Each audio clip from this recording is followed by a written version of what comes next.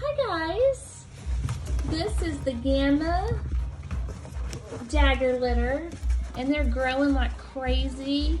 They got their foo-foo on their noses, yes, but they're really pretty puppies. They're just dirty right now from eating that Dine and Bil-Jac.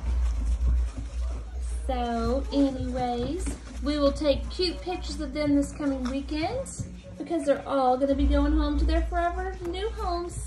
Ain't that right, guys? Ain't that right, guys? Gama Dagger, getting big. Getting so big. Say, I'll bite my brother. I'll bite my brother. Look, he just turns his head and just bites his brother. You're so cute.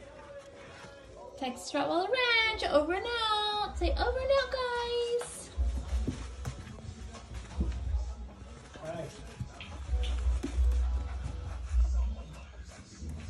Hi. Making a video.